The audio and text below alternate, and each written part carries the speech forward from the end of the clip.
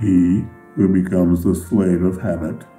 who follows the same path every day, who never changes pace,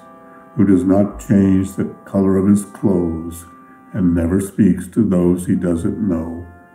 dies slowly. He who shuns passion and their turbulent emotions, the kind that make your eyes glisten, that turn a yawn into a smile and make the heart beat fast, dies slowly.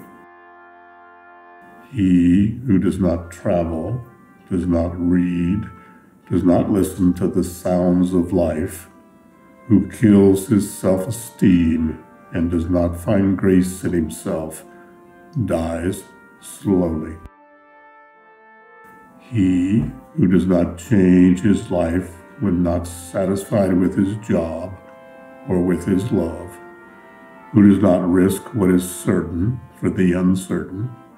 who does not go toward the dream that has been keeping him awake, does not allow himself, at least once in his life, to run away from sensible advice,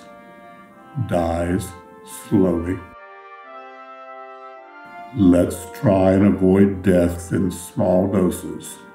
remembering always that being alive requires an effort far greater than the simple fact of breathing.